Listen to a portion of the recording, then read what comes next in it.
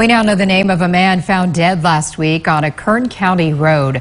A car hit the body on South Edison Road near Moeller Road last week, causing the driver to crash into a nearby pole. CHP officers responded to the accident and realized the victim had been shot. Today, the coroner said the victim was 22-year-old Adam Garcia of Bakersfield. We still don't know who shot him as KCSO has not announced any suspects. But if you have any information, you are urged to call the sheriff's office at 861 3110.